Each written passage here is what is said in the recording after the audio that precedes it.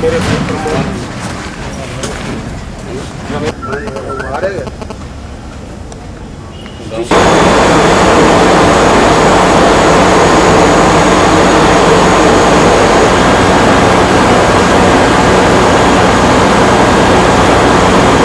गोलीकांड का मामला है, क्या है सर ये पूरा मामला?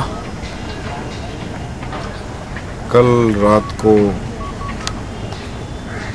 साढ़े ग्यारह, पौने बारह के करीब पुलिस को सूचना मिली कि एक व्यक्ति को दुर्गा बिल्डर पार्ट टू में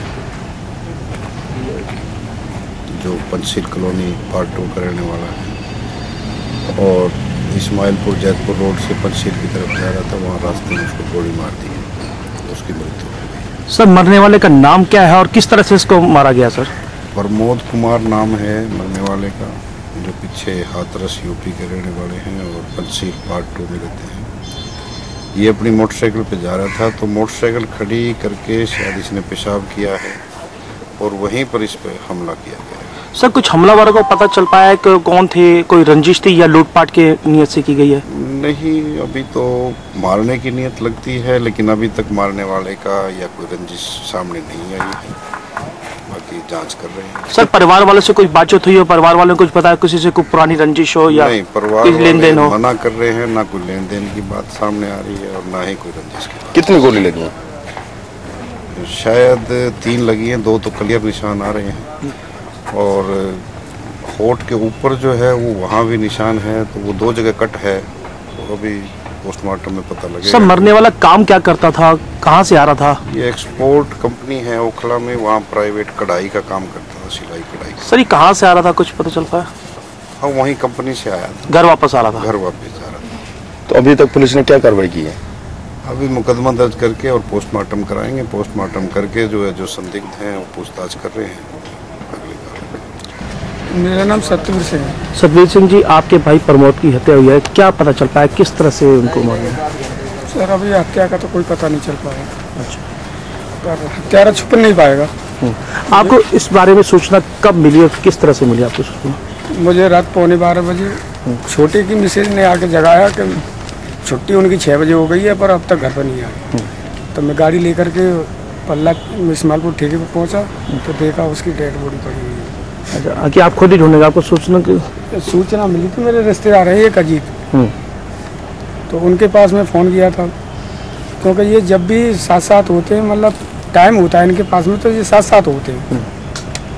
तो इनको कॉल किया था उन्होंने बताया था कि इस्मालपुर ठेके पर दस बजे तक हमने ड्रिंकिंग करी है और दस बजे के बाद में वो अपने घर चले गए। मैं अपने घर आया हूँ। तब मैं इस इस्मालपुर ठेके पर ढूँढने गया था। तो वहीं पे डेड बॉडी पड़ी हुई थी। जी पहले गाड़ी देखी गाड़ी के आगे चल के डेड बॉडी में। कि क्या काम करते थे और कहाँ से आ रहे थे? Sir Okhla embroidery Okhla embroidery मतलब काम करता था कढ़ाई का काम करता था ड्यूटी से ड्यूटी से। तो किसी से कोई रंजिश वगैरह कोई लेन देन वगैरह कुछ? नहीं। तो लूटपाट की नीयत से के कोई किसी से दो चार पाँच दिन या कुछ झगड़ा वगैरह हुआ हो किसी से? आपको क्या लग रहा है? कौन होगा इस पूरे हत्याकांड के पीछे? सर ये इसका तो अभी खुलासा होगा अभी मतलब अभी क्या मालूम।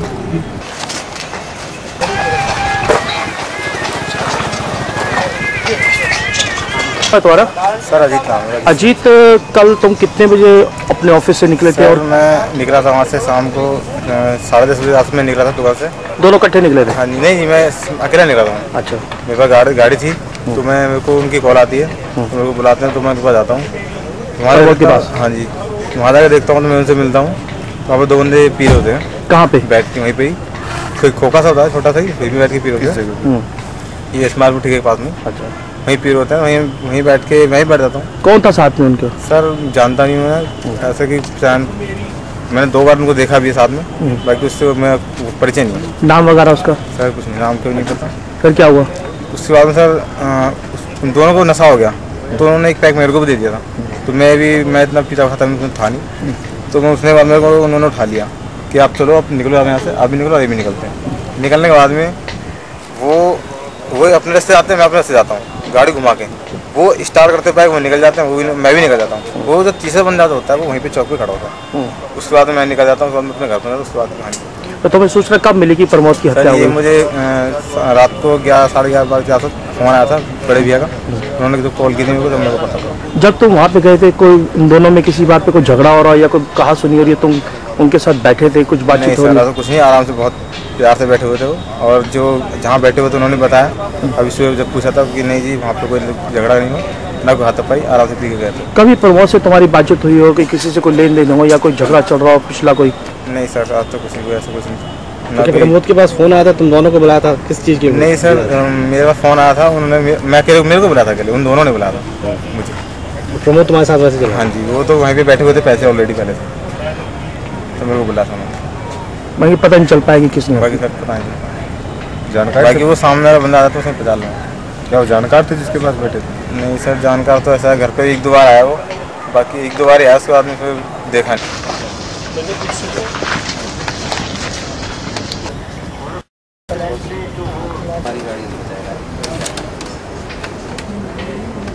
रोड के किनारे गाड़ी खड़ी थी उसकी। तो गाड़ी से बीस पच्चीस कदम चल के आगे गई